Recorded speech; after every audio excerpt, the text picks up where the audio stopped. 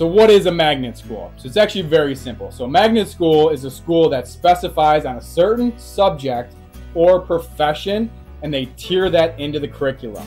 So, your kid's still to have all the normal classes. They'll have math, they'll have reading, they'll have science, but they'll tier in the specific magnet into that curriculum. So, let's take an arts example. So, let's say you get into an arts magnet school.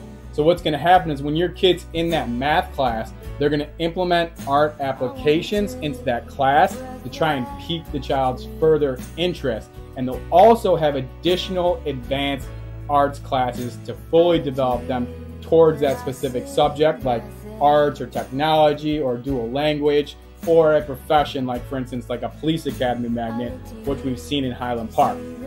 Now, these are mostly public schools. They're oftentimes free, but they can be very competitive to get in. The good thing is here in Los Angeles, we have 333. The top ones on the list are Wonderland Avenue Elementary, that's over in Laurel Canyon. There's Community Magnet Charter Elementary, which is in West Bel Air.